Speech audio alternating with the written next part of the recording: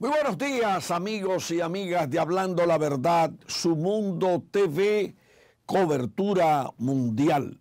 En los canales 101, 1101 HD de Claro, canal 46 de Win Telecom, canal 20 del Telecable Dominicano, canal 647 de Amazon Fire TV, en más de 50 sistemas de cable de la República Dominicana, en el satélite Eutel para los Estados Unidos y todo el continente americano.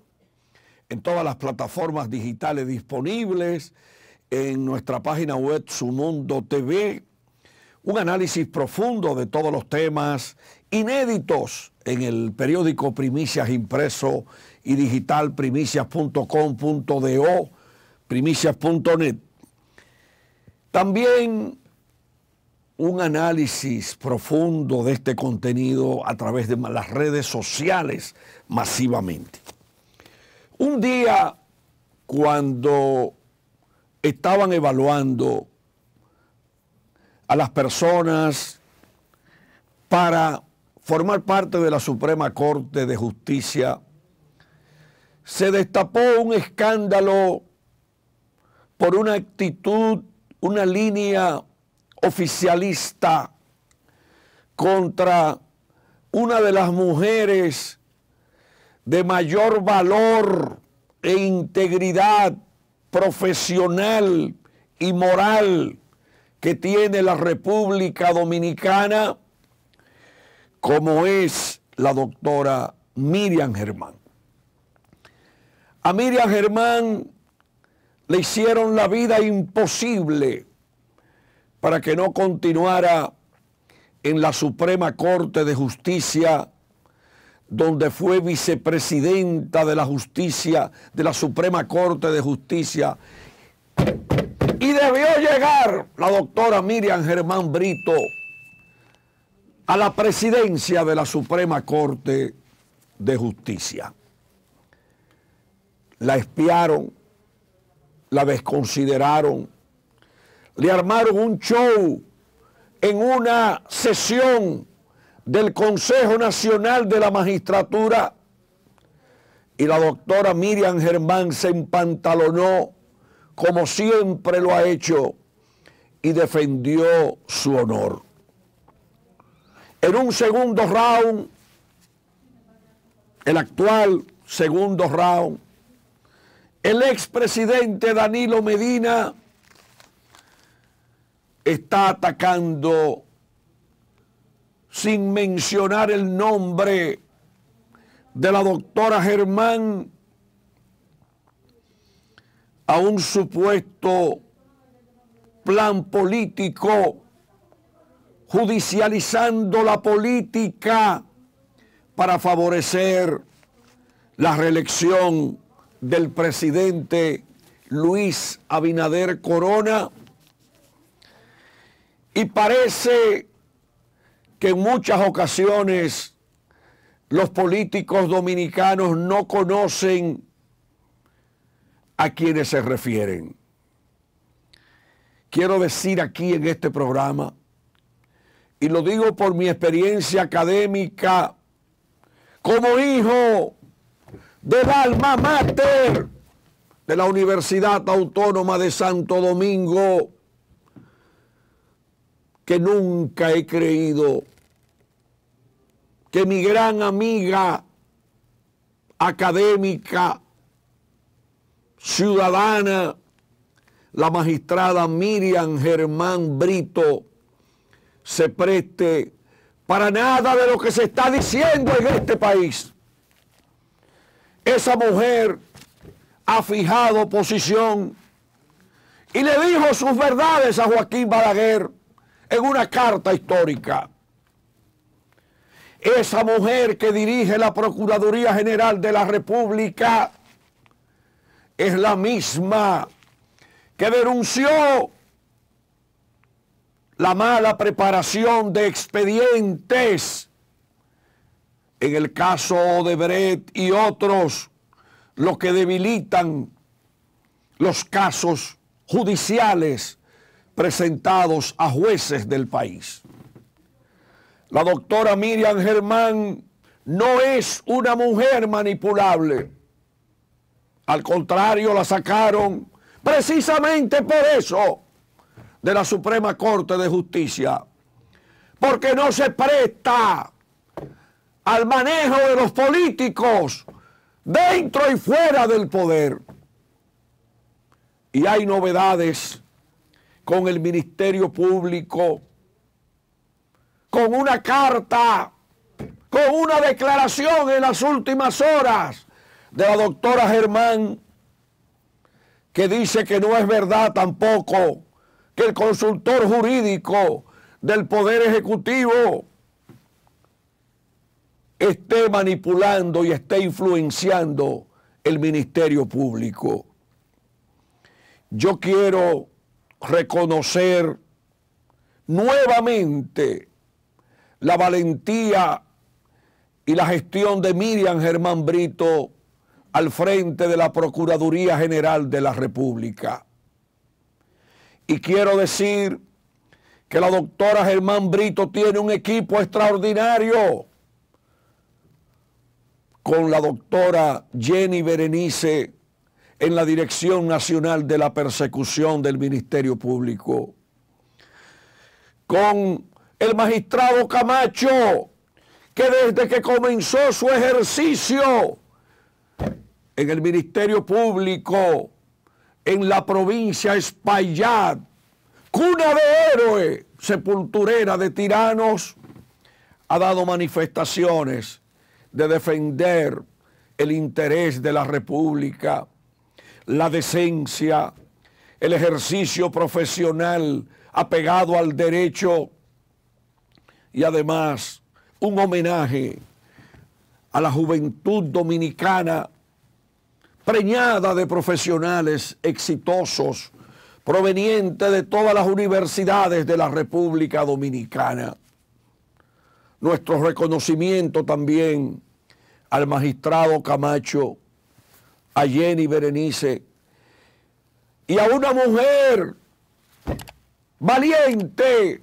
Ahí vemos a tres grandes dominicanos que se la juegan por la patria y que merecen el respaldo público como lo están recibiendo de sectores mayoritarios de la nación dominicana porque cumplen con su deber. Y el cumplimiento de su deber no es un delito en el país, sino algo que debe ejercer cada ciudadano, esté dentro del ejercicio del poder o fuera del poder. Un ejercicio que debe también ser eh, motivado en todas las organizaciones no gubernamentales, en el sector privado, en las juntas de vecinos, en las juntas de regantes, en los consejos administrativos de las empresas, los chiriperos, en los mercados, en todos los escenarios de la República Dominicana. Yo quiero también reconocer la labor de la magistrada Mirna Ortiz, la directora de litigación del Ministerio Público, como a todo el personal del Ministerio Público y de la justicia dominicana que cumplan con su deber. En otro orden, el país amanece hoy con muchos temas interesantes. Mientras Leonel Fernández nuestro querido maestro en la Universidad Autónoma de Santo Domingo me impartió la primera asignatura que como profesor impartió el doctor Fernández, Sociología de la Comunicación, junto a otros valiosos compañeros, entre los cuales están Carlos Julio Félix, Altagracia Salazar y muchos más Pilar Moreno, Felipe Mora. Yo quiero decir que el expresidente Fernández hablaba ayer de un empate técnico entre él y el presidente Luis Abinader. Sorpresivamente, el país amanece hoy, luego de un festival de encuestas que están saliendo por ahí, que dice Danilo Díaz, el director electoral del PLD, que Abel Martínez, oigan bien esto para que ustedes se den cuenta cómo anda la política dominicana. Y me gustaría ver una imagen ahí de Danilo, Lionel, eh, Abel Martínez. Pues dice Danilo Díaz que Abel Martínez supera con dos puntos al doctor Lionel Fernández. Y yo quiero analizar profundizar un análisis de ayer en este programa, diciendo que eso que expresa Danilo Díaz, conjuntamente con el lanzamiento del PLD a las calles, sacándole beneficio político el PLD en la parte política al caso Calamar, pues miren cómo andan las cosas. Y ayer en las tertulias vespertinas de la ciudad de Santo Domingo había un alboroto con tres elementos del análisis político de grandes ligas. En primer lugar, dicen que el caso Calamar, sin quitarle el tema de la corrupción, y sin quitarle el daño a la imagen del PLD de lo ocurrido cuando intentaron entrar por la fuerza y han hecho muchas protestas y muchas cosas más que la gente lo está analizando profundamente, paralelo al beneficio político que le está sacando eh, el PLD al caso Calamar, pues miren, hagan esta mezcla. Ya dice Danilo Díaz, que Abel Martínez tiene dos puntos por encima de Leonel Fernández. Y el tercer punto es que el PLD se ha propuesto ratificar por encima del transfugismo político con el dinamismo de Abel Martínez, de Francisco Javier, de muchos equipos eh, del equipo de Mariotti, que ha estado muy activo, inclusive presentando las bombas que la policía le lanzó, que él dice que le lanzó a la Casa Nacional del PLD, incluyendo una bomba que no explotó, y la presencia de un discurso de Danilo Medina luego de confesar un cáncer, eh, esa presencia de Danilo frente al Comité Central del PLD, pues no hay duda de que el PLD quiere desmontar eso, de que Leonel Fernández está en un segundo lugar.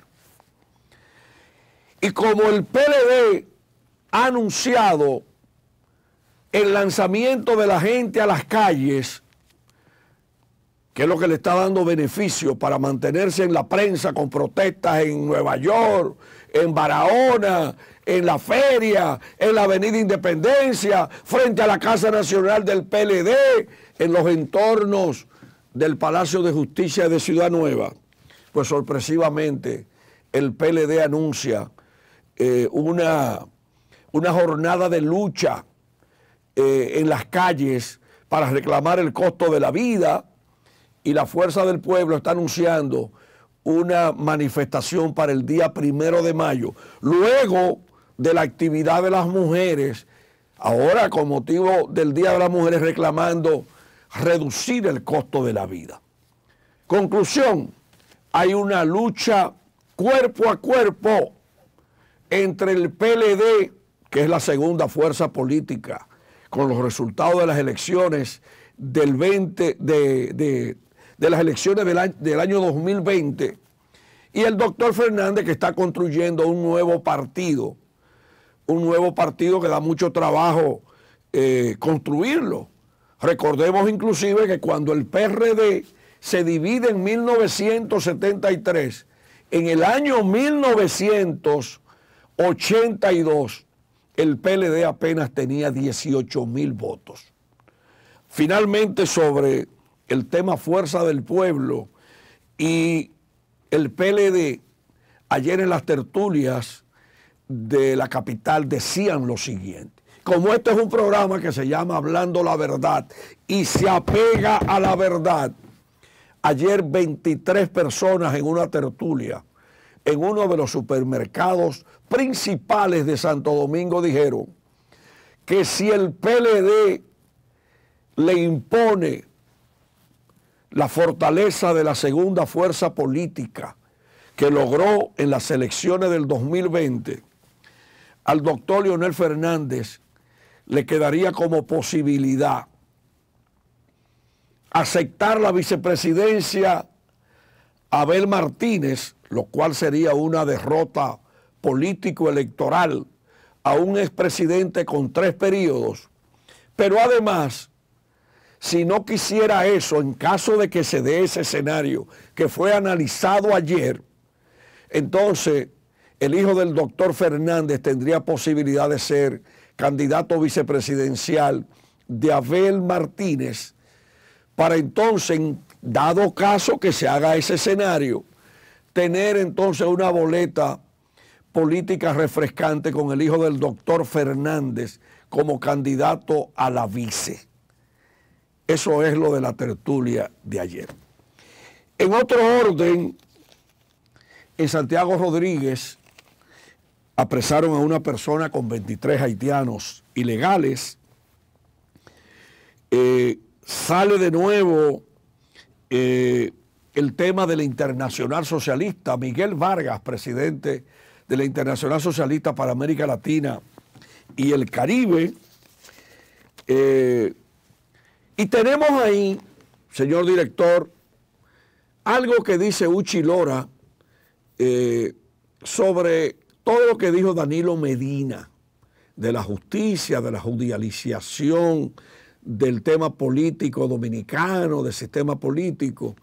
Uchi Lora, nuestro querido hermano, yo me prestigio de ver sus análisis en, la, en las redes sociales y vamos a ver lo que dice mi hermano Uchi Lora, el autor histórico de la columna Tintero en la prensa dominicana, sobre lo que dice Danilo Medina, la justicia, el caso Calamar y mucho más. Adelante, Uchi.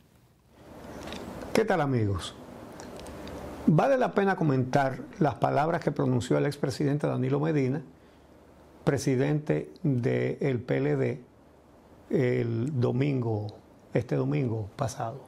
Estamos viendo cómo punto por punto en la República Dominicana se está aplicando el guion de la politización de la justicia.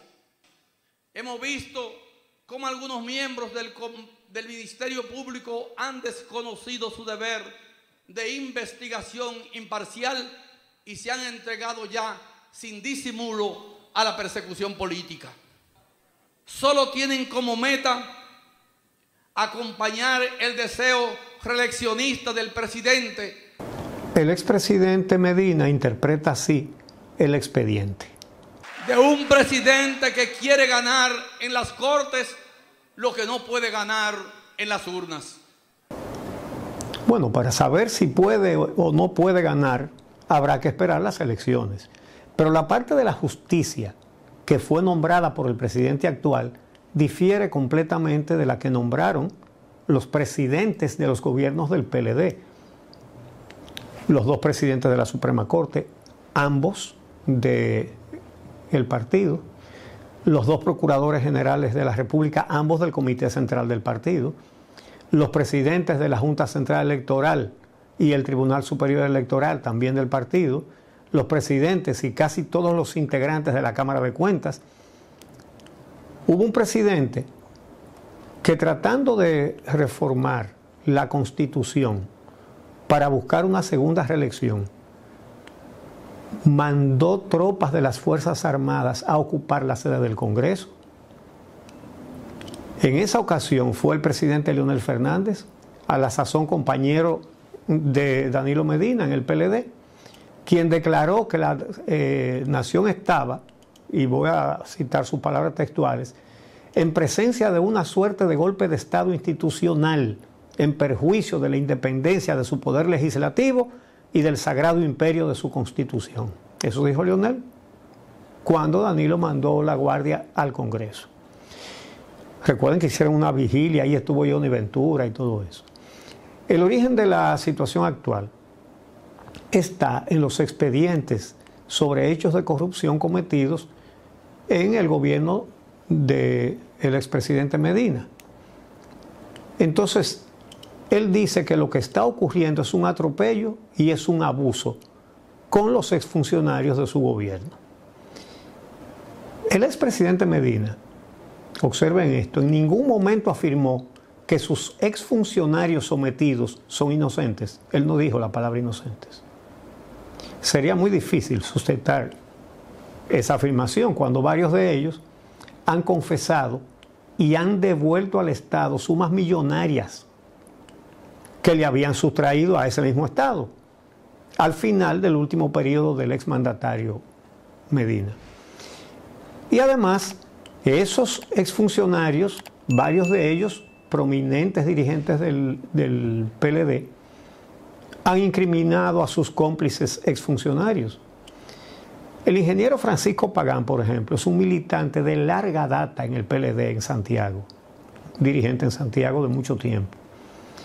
Él confesó actos de corrupción, tanto en el caso Pulpo, desde la OISOE, como en el caso Calamar. Devolvió bienes millonarios, colaboró con el Ministerio Público y ofreció detalles sobre cómplices suyos en aquel gobierno. Pero uno de los principales imputados del caso Calamar, Ramón Emilio Jiménez Coli, Mimilo, ha confesado, ha involucrado a ministros del gobierno de Medina y ha devuelto dos mil millones de pesos.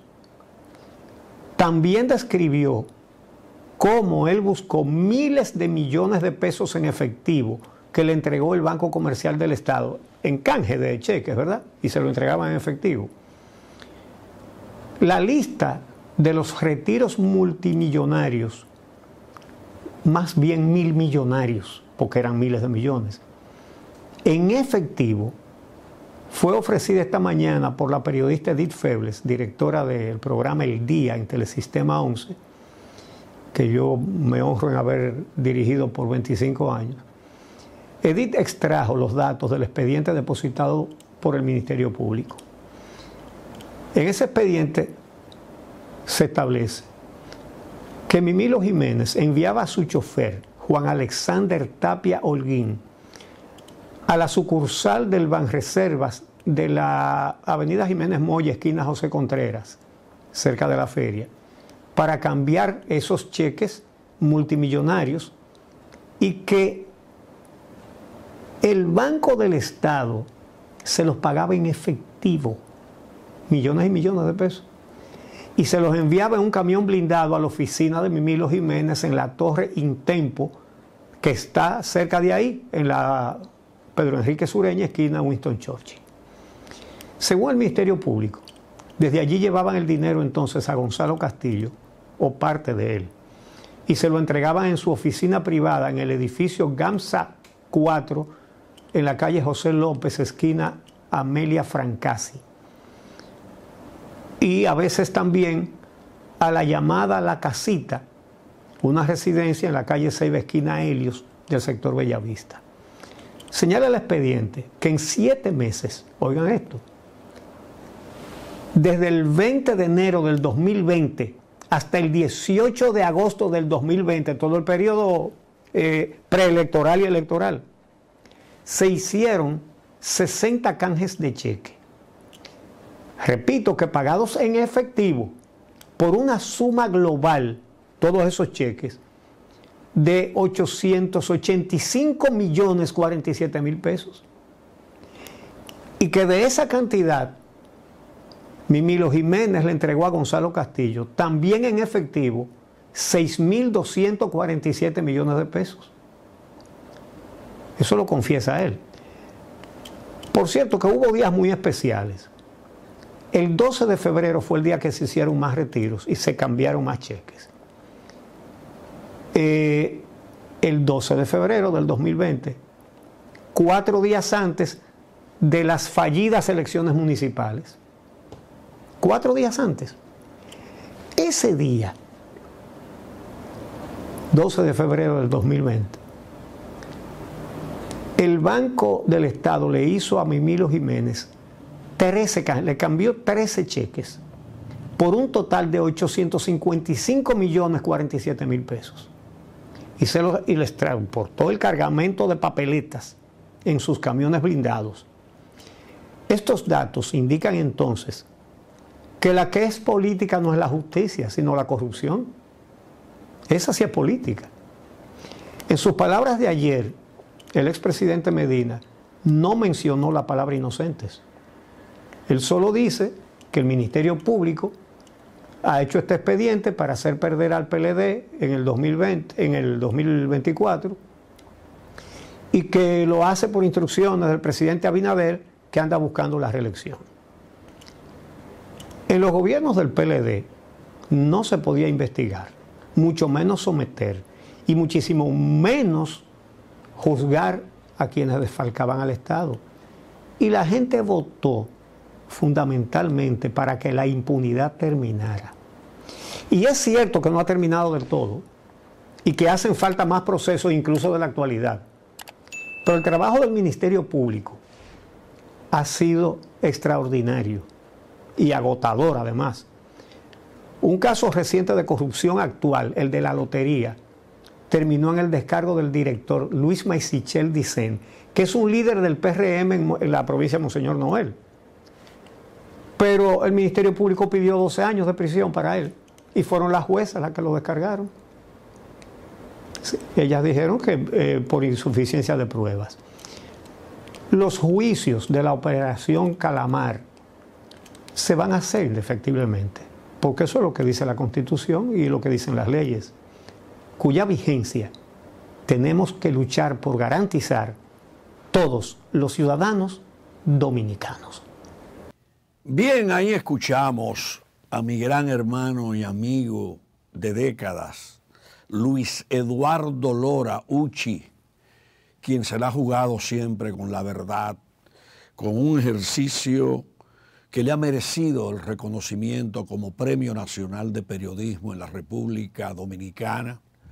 Fue perseguido en los 12 años de Balaguer y realmente es una voz que este programa elogia porque siempre aporta al país. Vamos al primer cambio en este día. Retornamos en breve con el segundo bloque de Hablando la Verdad, su mundo TV, cobertura mundial. Bien amigos y amigas de Hablando la Verdad, el segundo bloque a través de los canales 101, 1101 HD de Claro, canal 46 de Win Telecom, canal 20 del Telecable Dominicano, canal 647 de Amazon Fire TV, en más de 40 sistemas de cable en la República Dominicana, en el satélite Eutel para Estados Unidos y todo el continente americano en todas las plataformas digitales disponibles y en nuestra página web Sumundo TV. Análisis, temas inéditos en el periódico Primicias, impreso primicias.com.do, primicias.net. También a través de las redes sociales, Sumundo TV, cobertura mundial. Señores, hay que ponerle mucha atención a lo que acaba de expresar el gobernador del Banco Central, Héctor Valdés Albizu, diciendo una gran verdad de que el mundo enfrenta nuevas turbulencias financieras y yo le agrego las que, las que tenemos que seguir con lo ocurrido con algunos bancos en el exterior. Y aquí se ha expresado la fortaleza de la banca de la República Dominicana. Pero hablando de turbulencias, luego de lo expresado por el gobernador del Banco Central, el petróleo subió por encima de los 70 dólares nuevamente. Y es una noticia preocupante porque en días pasados el petróleo había bajado eh, a 65, 66 dólares el barril. Pero también está eh, como tema económico el hecho de que el impacto en el incremento de las tasas de interés en Estados Unidos y otras partes del mundo perjudican la economía dominicana. Aquí las tasas de interés están bastante elevadas. Recordemos que el Banco Central aumentó eh, progresivamente a 8.50 la tasa de referencia del Banco Central que se refleja en las tasas de interés del sistema financiero dominicano. Y el tema de la inflación, a pesar de que se utiliza la política monetaria de reducción de medios circulantes más el encarecimiento del dinero, la inflación sigue su agitado curso, aunque no con la velocidad eh, en los meses posteriores a la pandemia que llegó a un nivel escandaloso, producto de los fletes, eh, de los fletes desde China y de otros países, y además por el encarecimiento de la materia prima en República Dominicana. Aquí no ha bajado nada en el país, a pesar de que han bajado los fletes y han bajado las materias primas el consumidor dominicano no tiene esa buena noticia. Tampoco le han bajado los precios de los combustibles. Al contrario, al contrario, subirle cinco pesos al gana natural, que había un desabastecimiento y protestas en el día de ayer en el Gran Santo Domingo y otros puntos del país, es un elemento provocador provocador subir el precio del gas natural aquí en este país, donde un galón de gasolina cuesta casi 300 pesos y un galón de gas licuado de petróleo cuesta 147,60. Y repetimos lo que comunicamos ayer el precio del GLP a 147,60 apaga cientos de miles de estufas de dominicanos y además provoca el uso de leña como energía en los hogares dominicanos, como fuente para la cocción de alimentos en el país. En un país en un país en el cual hasta este momento se han producido 135 incendios. Y se dijo hace poco que el 70% de los incendios son provocados. Y hay que buscar presos. Hay que buscar presos a todos los autores de los incendios provocados en el país. Lo cual al igual que los actos delincuenciales y la violencia política, son amenazas para la gobernabilidad del país, al igual que los frecuentes paros que vive organizando, porque parece que no tienen otro método de lucha que no sea paralizar la docencia en perjuicio del pueblo dominicano. Señores, Vienen protestas en abril. La fuerza del pueblo dice que va para la calle a reclamar la reducción en el costo de la vida. Vemos una pasividad con los incendios en este país. Vemos que un recluso de la cárcel de Najayo dirigía una red de sicarios. Y ese no es el país que queremos. No es el país que queremos, como tampoco el país donde malos dominicanos persisten en seguir negociando con el tráfico de haitianos, como comunicamos hace un momento con el apresamiento de un dominicano que llevaba más de 20 haitianos indocumentados pero aquí se ha perdido la cuenta de que cuántos haitianos que tenemos invadiendo la República y buscando el coro internacional, porque ahí está Amnistía Internacional hoy denunciando de que una supuesta discriminación de los dominicanos con los haitianos, como también han, han dicho los norteamericanos, y eso no es verdad. Este es el país más solidario con los haitianos y solamente los partos y las atenciones médicas a los haitianos en este país le cuestan a los dominicanos entre 10 mil y 20 mil millones de pesos al año. Y tenemos los mercados binacionales para que no falte nada en Haití. Tampoco se puede abusar de este país donde los haitianos han venido cogiéndose pueblos en la frontera, pueblos allá en Villalobo, en Montecristi, en Friusa, se quieren coger a Santiago, a Jarabacoa, se quieren coger el país sin ninguna batalla, silenciosamente se quieren robar la República Dominicana.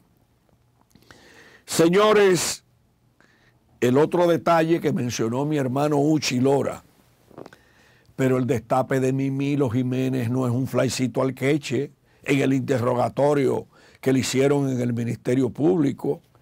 Ay, pero cuántas cosas dice Mimilo Jiménez, el hijo del general Milo Jiménez. Mire que se parece muchísimo a su padre. Finalmente, para irnos al cambio, Dio Astacio renuncia de un cargo público para aspirar a la alcaldía de Santo Domingo Este. La vicepresidenta de la República dice que el gobierno no apoya la represalia y que garantiza la paz. Pero con una pregunta, señora vicepresidenta. Entonces, si el gobierno no apoya la represalia que usted menciona, apreciada vicepresidenta, ¿quién mandó a las tropas que lanzaran esas bombas, una de las cuales no explotó y que motivó una rueda de prensa ayer en el PLD de Charlie Mariotti y otros dirigentes para pedir la cancelación del director de la Policía Nacional, el general Ten. Y además, si no hay represalia, ¿quién mandó a los policías en Mao a tirotear abusivamente a una profesional allá en Mao? Caso que no vamos a dejar de mencionar, ni ninguno de los abusos policiales. Porque aquí el pueblo es el dueño de este país y la policía no puede imponer el terror y la represalia violentando derechos humanos en la República Dominicana. Una declaración muy diplomática de la señora vicepresidenta, pero tampoco concuerda el afán de hablar tanto, señora vicepresidenta, de reforma policial cuando los excesos de la policía, los excesos de la policía están enterrando las aspiraciones reeleccionistas para el 2024. Y eso no lo digo yo, lo dicen en todas partes. Vamos al cambio. Venimos con la Semana Santa en el último segmento de este programa. Bien amigos y amigas de Hablando la Verdad, el último segmento de este programa a través de su Mundo TV, cobertura mundial. Señores, la Semana Santa trae un operativo en el cual participarán 48 mil personas, 48 mil voluntarios para salvar vidas, eh, hay que llamar a la reflexión, a la prudencia, evitar el riesgo en la Semana Santa, evitar las intoxicaciones de niños y de adultos y de adolescentes con el alto consumo de alcohol. Hay que respetar las señales de tránsito, hay que escuchar los mensajes de las autoridades, Un operativo que integra al Ministerio de Salud Pública, el COE, las Fuerzas Armadas, a SENASA, al COMIPOL, que es la Comisión eh, de Emergencia Militar y Policial de Obras Públicas, la Defensa Civil, la Cruz Roja, y el operativo 2023 de la Semana Santa se llama Conciencia por la Vida Semana Santa 2023 y se iniciará el jueves santo 6 de abril a partir de las 2 de la tarde hasta el día 9, domingo de resurrección, en la noche. Pero la Semana Santa, eh, a pesar de que el operativo es de jueves a domingo, no hay dudas de que la Semana Santa arranca el domingo de Ramos y todo lo que ocurra del domingo de Ramos al domingo de resurrección es información atribuible a la Semana Mayor. Así como anunció el, equipo eh, que compone el operativo de Semana Santa ayer, todos los detalles del, del operativo, serán desplegadas 48.578 personas para el desarrollo de ese operativo con dispositivos de prevención y seguridad vital en los tramos de carreteras, eh, tramos carreteros de las principales vías y autopistas del país, así como en 80 y 891 playas y balnearios permitidos. Además, serán dispuestos 3.237 eh, puestos de socorro, 570 ambulancias, 252 unidades de respuestas inmediatas, 49 puestos de grúas, 16 dispositivos de asistencia vial, 19 embarcaciones, 24 talleres móviles y 3 helicópteros eh, que aporta el Ministerio de Defensa. Eh, hay que ponerle atención eh, al detalle de que en el año 2022, en la Semana Santa, fallecieron 34 personas. Vamos a ver eh, si logramos reducir esa cifra, porque definitivamente la nación no quiere más muertos, demasiado luto en la sociedad dominicana. También tenemos que decir que la creatividad dominicana en la Semana Santa no es solamente con las habichuelas, las habas con dulce, los postres de Semana Santa, el chacá y platos como la arepa dominicana. Ahí vemos esas galletitas criollas con esa eh, habichuela eh, habichuela cremosa, habichuelas con dulce cremosa de Semana Santa. El orgullo dominicano. Esas galletitas son fabricadas en el ensanche La Fe y en la carretera Licey Santiago, en el kilómetro 5 de Santiago. Ahí vemos un pedazo de batata, de esa batata roja dominicana de nuestros campos y vemos también unas pasas que deben estimular la producción masiva de pasas con pequeños y medianos productores que han iniciado proyectos allá en Galván y toda la provincia Bauruco en el suroeste del país. Pero vemos eh, a cadenas comerciales creando galletas de jengibre para el chocolate, las habichuelas en la Semana Santa. A propósito, yo no sé de quién fue el invento de que alguien en una ocasión, en una receta sobre las habichuelas con dulce, dijo que había que echarle un poco de jengibre. Entonces serían habichuelas con dulce con jengibre con leche de coco, con batata, leche evaporada, pasas y también las galletitas de leche, el casabe que le echan los linieros a las habichuelas y el pan que le echan otros dominicanos. Hay una tradición de que hay dominicanos que le dejan granos enteros a las habichuelas con dulce y esto es interesante porque hay unas competencias en diferentes lugares del país de quien haga unas mejores habichuelas con dulce en la República Dominicana. Ahí está un elemento que se nos olvidó, que forma parte del sabor de la habichuela con dulce, primo hermano de la canela que vemos ahí, y están precisamente al lado en esas imágenes.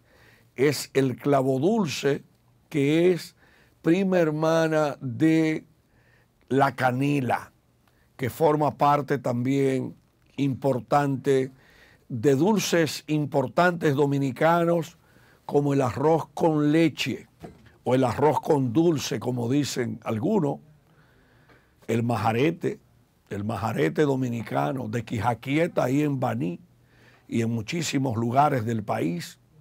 También la torta dulce y la torta amarga allá en el Cibao y la línea y en la sierra. Porque para los cibaeños es torta dulce y torta amarga. Para los del sur y para los de la capital es la arepa dominicana. Pero hay muchas tradiciones. Eh, también tenemos el roquete que hemos mencionado de allá de Santo Cerro, el roquete liniero, el roquete higüeyano, pero también tenemos las galletitas con suspiritos de Martín de Moca para la Semana Santa y todo el año. También tenemos eh, el pipián mocano de pollo para galletitas y muchas creatividades más del dominicano. Galletitas de vainilla y ahí hay una marca nacional que acaba de salir de galletas rellenas de fresa y otras de vainilla. Señores, la Semana Santa Dominicana es una Semana Santa con la identidad de nuestro pueblo, con la identidad y el catolicismo dominicano, con la identidad, con el pescado frito de Boca Chica, con la batata frita, con el yaniqueque, con el tostón, pero además con la batata asada en la ruta eh, Santo Domingo Villa Altagracia, que es muy tradicional. Así que despedimos el programa hablando de una Semana Santa 2023 que une nuevamente a la familia dominicana y que también trae pronunciamientos contundentes sobre la realidad nacional de curas y obispos dominicanos que abordan temas de actualidad en la Semana Santa. Mañana será otro día hablando la verdad, cobertura mundial, su mundo TV.